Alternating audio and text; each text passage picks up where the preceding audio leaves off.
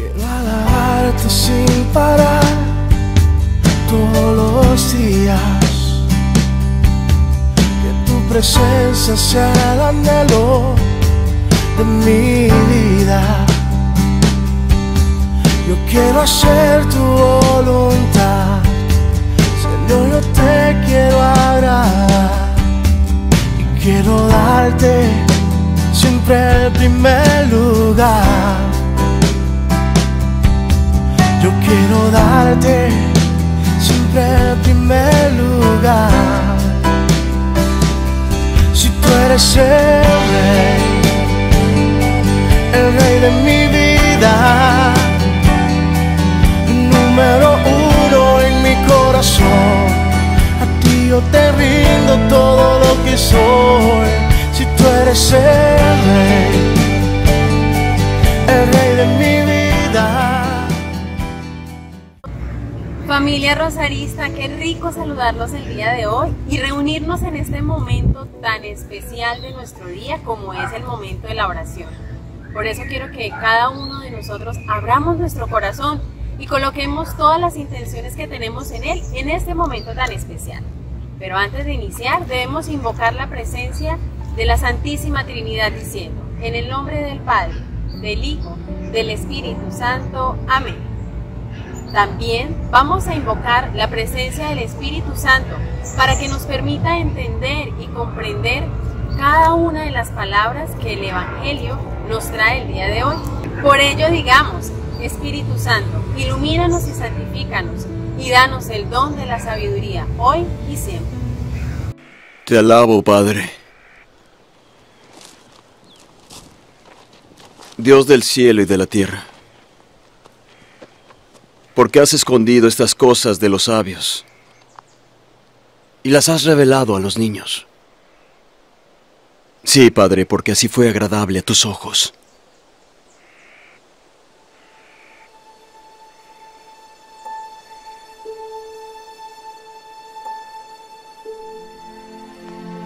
Todas las cosas me son entregadas por mi Padre.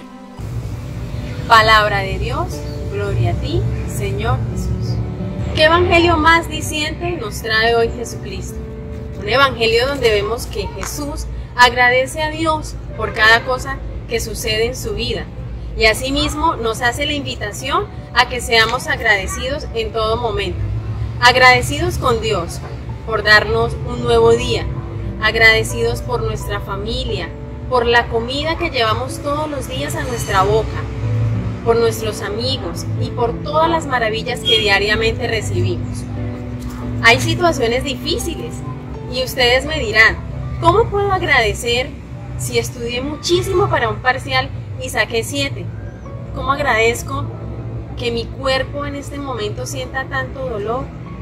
¿Cómo agradezco esa noticia que no me la esperaba y no genera felicidad en mí? Aquellas noticias que impactan mi vida y que hacen que mis sueños y deseos se pierdan, porque esto llegó a cambiar todo. ¿Cómo agradecer en ese momento? Claro, hay que tomarnos un tiempo, ¿cierto? Para poder entender lo que está pasando, para poder mirar esa situación con unos nuevos ojos, con unos nuevos lentes, y son los lentes de la fe, y son los lentes de la esperanza. Cuando miramos aquella situación con esos nuevos lentes, ahí en ese momento podemos agradecer y mirar esas nuevas oportunidades que Dios nos está permitiendo vivir a través de esa situación que hasta hace algunos días creíamos era tremendamente difícil en nuestra vida. Cuando agradeces, eres un ser generoso y no solamente te van a abrir ventanas, te van a abrir puertas gigantescas a grandes cosas que Dios tiene preparado para cada uno de nosotros. Hoy quiero que juntos establezcamos estos aspectos importantes para trabajar. Uno, cuando realicemos esa oración a nuestro Padre Celestial, no la hagamos solamente para pedir, porque casi siempre lo hacemos para pedir, ¿cierto? Y no está mal, porque a Jesús le encanta que lo busquemos, que necesitemos de Él. Pero qué importante sería que nuestras oraciones, algunas de todas aquellas que hacemos, sea para agradecerle, para alabarlo por su inmensidad, por su gran corazón y por ser ese Padre amoroso y generoso que nos ha demostrado siempre que lo es. Dos, siempre ser agradecidos. Como les decía, si de pronto en el instante no podemos ver qué tengo que agradecer, démonos un tiempo, que estoy segura que más adelante agradeceremos por esa situación que en su momento no fue agradable para nosotros. Y tres, agradezcamos hoy por cada cosa que estamos viviendo. Oración de consagración a los corazones de Jesús y María. Santísimos corazones de Jesús y María, unidos en el amor perfecto, con misericordia y cariño, les consagramos nuestros corazones, nuestras vidas y nuestros seres amados. Que el ejemplo bello del hogar en Nazaret sea modelo para las familias rosaristas. Esperamos obtener con tu ayuda la unión y el amor fuerte y perdurable. Que nuestro hogar esté lleno de gozo. Que el afecto sincero, la paciencia, la tolerancia, el respeto mutuo sean dados libremente a todos. Que nuestras oraciones incluyan las necesidades de otros, no solamente las nuestras. Que siempre estemos cerca de los sacramentos. Bendice a todos los vivos y también a los difuntos. Que la paz reine siempre en nuestra patria Colombia. Que vivamos cerca de tus corazones para recibir protección a toda hora. Líbranos de las enfermedades espirituales y corporales. Sagrado Corazón de Jesús, en ti confío. Sagrado Corazón de María, sé la salvación del alma mía. Amén. Oración para suplicar protección. Dios Padre Todopoderoso, te pedimos por la familia Daniel Rosalista. Líbranos de toda enfermedad espiritual, emocional y corporal, en especial del coronavirus. Sana a los enfermos y ten misericordia de aquellos que han muerto. Cúbrenos con el poder de tu sangre preciosa y séllanos con tu protección. Libéranos del miedo, acompaña a quienes se sienten solos y cuida especialmente a nuestras familias, niños y ancianos y personas en situación de riesgo. Ilumina con tu Santo Espíritu a los científicos líderes que buscan soluciones oportunas y fortalece al personal de la salud para que su trabajo sea victorioso. Que por intercesión de tu Santísima Madre, Nuestra Señora Rosario, Santo Domingo de Guzmán y Santa Catalina de Siena, sean escuchadas nuestras súplicas. Amén.